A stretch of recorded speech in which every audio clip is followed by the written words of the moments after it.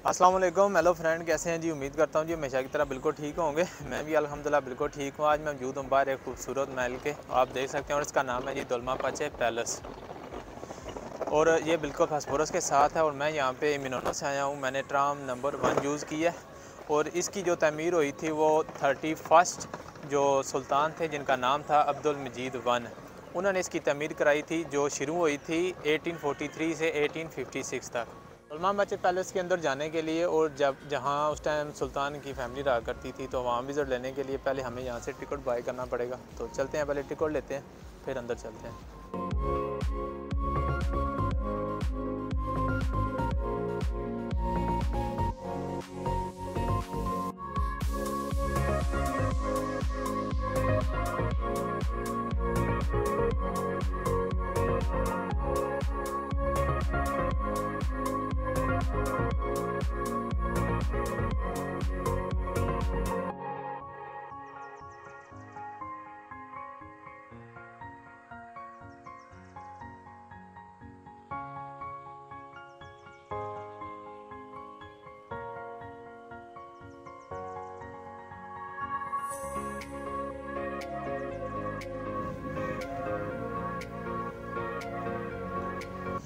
जी friend हमने ticket ले ली है और ये टिकट 150 लीरा की हमें पड़ी है और हम आ गए तकरीबन ये इसका मेन गेट है यहाँ से हम इंटर होंगे अंदर की तरफ़।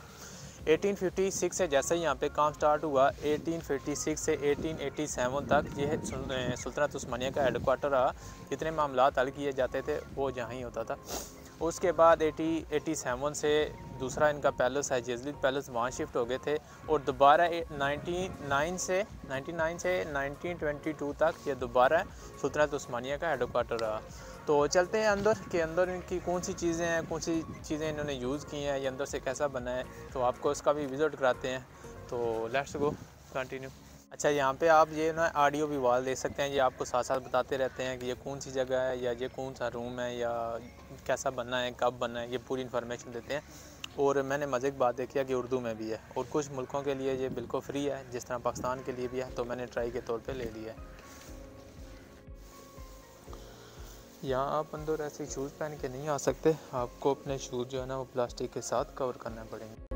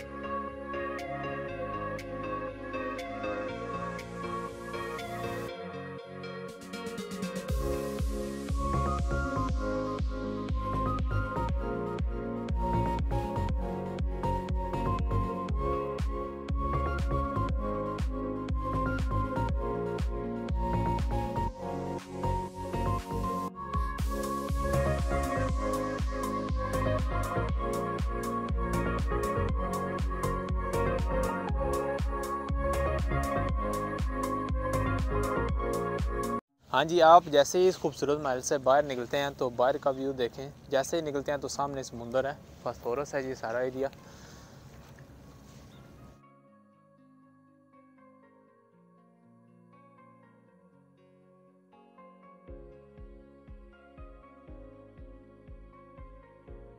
अब ये दोलमा पचे पैलेस बनाया गया था। तो उस टाइम जो उस पर लागत आई थी उस टाइम उस्मानी सोने का सिक्का चाह रहा था वो फाइव मिलियन जो गोल्ड का सिक्का था वो इस पर लागत आई थी।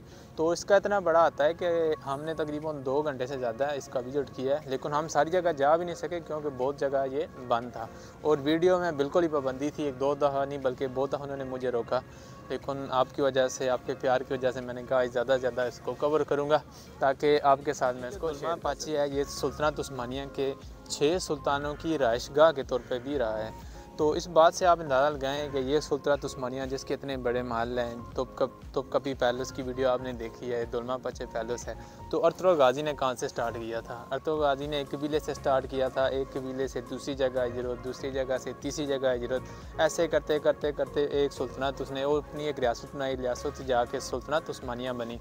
उस्मान का आप ड्रामा देख रहे हैं कुल्लू उस्मान उसके बेटे हुरान ने आगे जाके बुरसा फ़तह किया फिर उसके बाद उनके बेटे मोहम्मद फ़ातह ने जाके कुस्तनतुनिया को फ़तह किया फिर ये एक सुल्तनत उस्मानिया बनी जो इतना अरसा सुल्तनत उस्मानिया की कहानी। कि अरतुल गाजी ने एक कबीले से इसको स्टार्ट किया अपना सफ़र और एंड हुआ दौलमा पाचे पैलेस पे।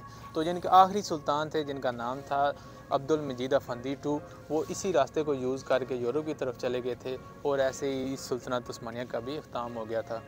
तो ये सारी कहानियाँ जी, सुल्तनत उस्मानिया की। उम्मीद करता हूँ आपको मेरी आज की वीडियो ज़रूर अच्छी लगी हो। वीडियो को शेयर करें, वीडियो को लाइक करें और अगर अभी तक चैनल नहीं सब्सक्राइब किया तो चैनल सब्सक्राइब कर दें। इन मिलते हैं एक और नेक्स्ट वीडियो में। अल्लाह हाफिज़।